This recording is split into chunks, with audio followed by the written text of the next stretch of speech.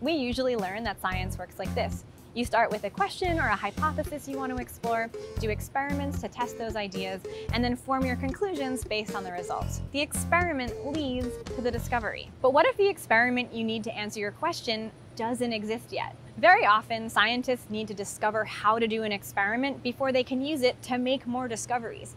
Today, we're meeting scientists who just invented a new experiment that is going to rock the world of plant biology and lead to tons of amazing new discoveries. It all starts with this humble little weed. Meet Plantago. This weed grows everywhere, and that's partly why it's so interesting to scientists at Purdue University. All species of Plantago respond really well to stress, so that's why we're interested in using it as a model species to study how plants respond to stress. We hope to take what we've learned from Plantago and apply it to other crop species so we can make them more resistant to stresses like drought or even salty soil. Plantago is also great for vasculature research. The vasculature or the veins transport water, nutrients, and signaling molecules, so it's like a combination of the nervous system and the circulatory system in animals. So it's really important that we understand this on a fundamental level so we can apply it to crop improvement. But what makes a plant bad or good for studying the vascular system? We're going to show you. Turns out when you try to get veins out of most plant leaves, they just break in half, leading to some very sad scientists. But when you break a plantago leaf, the veins pop right out, so they're super easy to extract for research.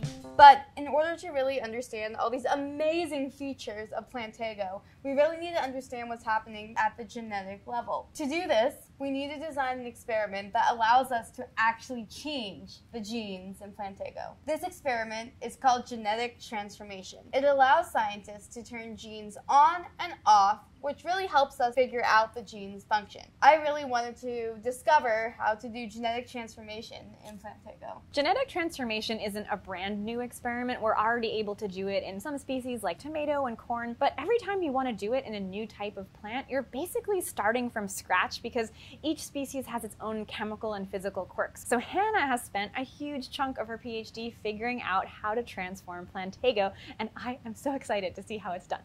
Shall we? Yes. These are the plantlets that we'll be transforming. They've been growing in sterile conditions for about a month now, from seed until they get about this size. But in order to do the transformation experiment, we first have to introduce you to a new organism, Agrobacterium tumefaciens. Agrobacterium is able to genetically transform plants, and it evolved this skill naturally. So it's been doing it for way longer than us humans have even been doing science. Normally, it inserts its own genes into the plant's DNA, which tell the plant, hey, build me a huge house and fill it with a ton of delicious food.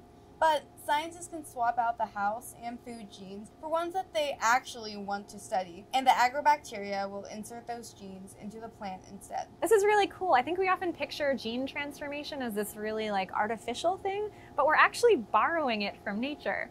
So, uh, what genes have you given the agrobacteria? I'm actually studying a transporter that moves sugar from the leaves into the veins of the plantago plant.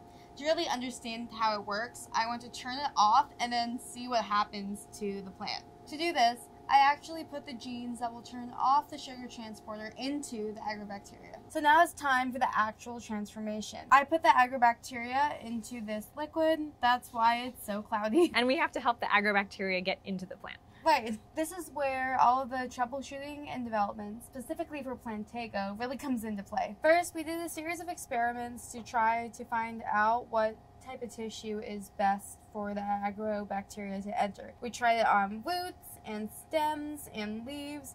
Found out that in the end, only the roots were able to get the agrobacterium into them. So the first thing we need to do is actually cut the roots off the plant.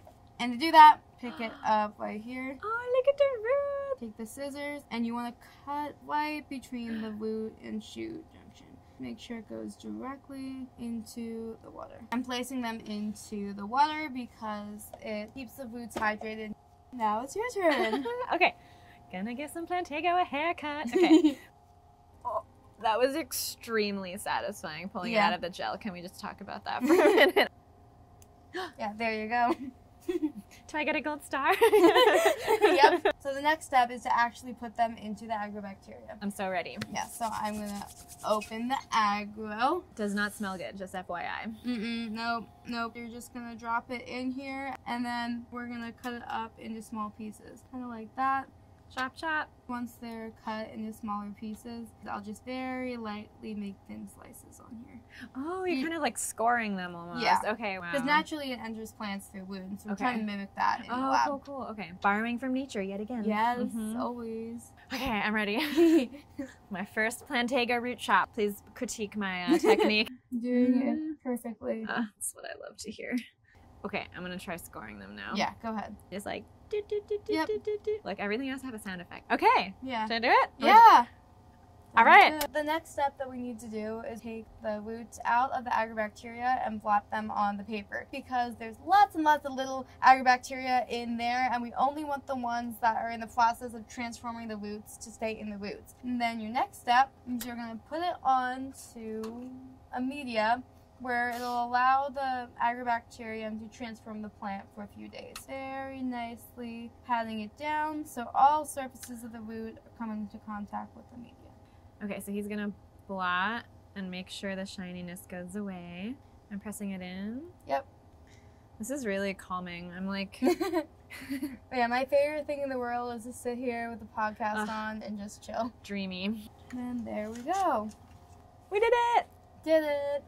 So at this point, the agrobacteria is in the roots. It's working super hard to insert the sugar transporter shutoff genes into the plant's DNA. But how do we help this pile of chopped up roots remember how to be a plant again? We actually use hormones. We add hormones that tell the roots to grow into stems and leaves, and then we introduce it to another type of hormone that tells it to grow into roots again. And these are the exact type of hormones you'd use to propagate your houseplant cuttings. The ability to regenerate a whole plant from a little bit of root or shoot has nothing to do with the genetic transformation we just did.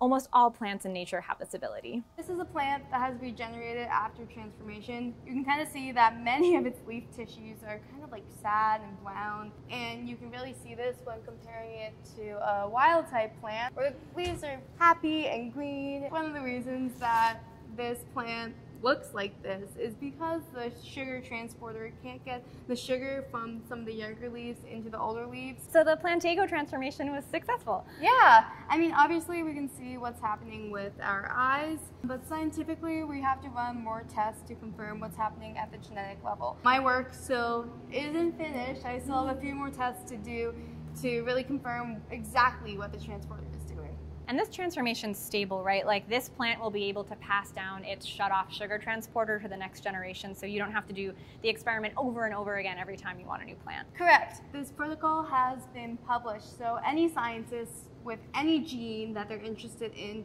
can actually use it for their own studies on Plantago. So is that it? Are your plant transformation invention days done now that you've got a solid protocol published? Nope, that was Plantago lanceolata.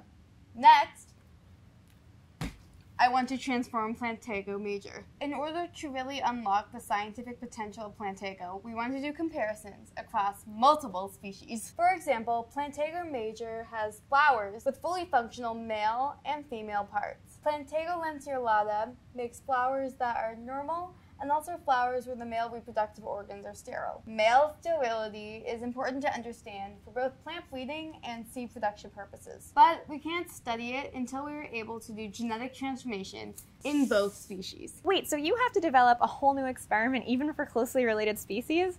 Wow, well, I'm gonna have to come back and see how that one works. Thanks so much for having us. A link to Hannah's paper is in the description if you want to transform Plantago lanceolata for yourself. Uh, don't forget to subscribe, and many thanks to the National Science Foundation for funding this episode.